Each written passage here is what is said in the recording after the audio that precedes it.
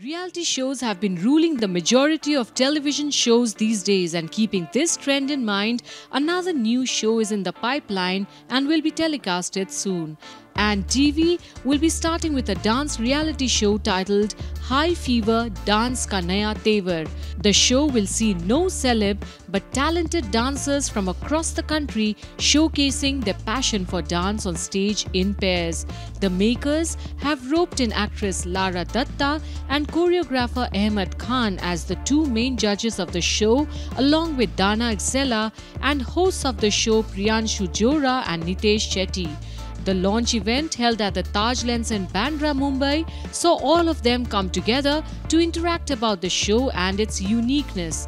Let's hear them out and know more about what High Fever Dance Ka Naya Tevar will be all about. मुझे कहा गया था कि इसमें जोड़ियाँ हैं तो ऐसे जोड़ियाँ कैसी होंगी दन सेड जोड़ियाँ वो हैं जो आमतौर पे लोगों को जोड़ियाँ नहीं लगती हैं तो मैंने कहा मतलब एक मिसाल दो तो उन्होंने कहा कि इस शो में एक ननंद और भावच की जोड़ी होगी।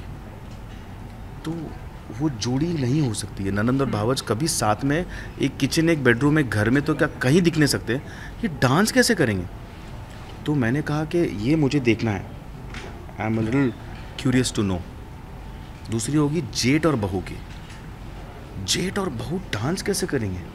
He is almost like a ससुर फादर फिगर तो ऐसे ये भी मुझे देखना। है और ऐसे करते करते इतने सारे जोड़ियाँ दिखी और फिर मैंने एक चीज़ नोटिस की कि डांस डजेंट मीन कि खाली आप खुश हो तो डांस करो या टॉप फिनाले में आने के लिए डांस करो अवार्ड जीतने के लिए डांस करो।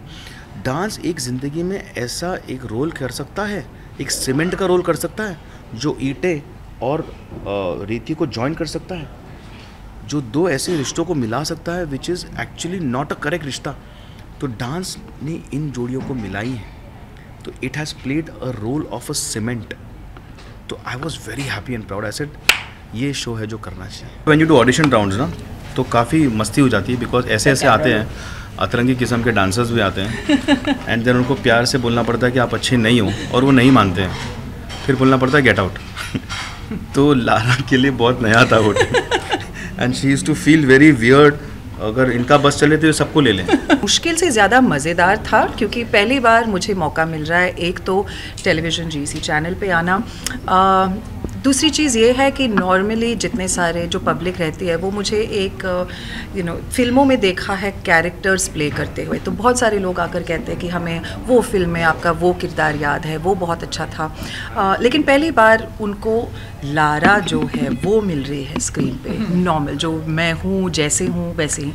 एंड आई थिंक इन जैसे अहमद ने कहा जो जोड़ियाँ आ रही हैं इस कॉन्टे इस शो में पार्टिसिपेट करने के लिए आ, उनके स्टोरीज़ बहुत ही अनोखी जोड़ियाँ हैं। तो उनके क्या स्टोरीज़ है? कैसे आए? कहाँ कैसे कैसे यहाँ तक पहुँचे? क्या कहना चाहते हैं अपने जोड़ी के थ्रू और अपने डांस के थ्रू? ये सब चीज़ जानना और पहचानना मेरे लिए बहुत ही दिलचस्प रहा है। So I really have to say that जितना हमने अभी तक शूट किया है मैंने बहुत इन्जॉय किया है।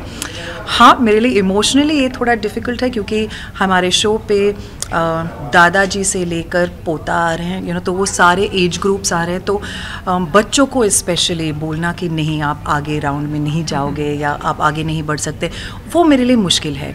और जैसे मैंने कहा मैं थोड़ी सी इमोशनल हूँ तो अगर उनकी इमोशनल स्टोरी में आप बह गए तो कभी कभी ऐसे भी हो सकता है कि वो इमोशनल स्टोरी में आप ज़्यादा घुस जाते हैं और डांस में थोड़ा सा मतलब आप यू नो लीनियंट बन जाते हैं तो ये सब चीज़ें में ध्यान में रखना और सही डिसीज़न लेना वो मुश्किल है।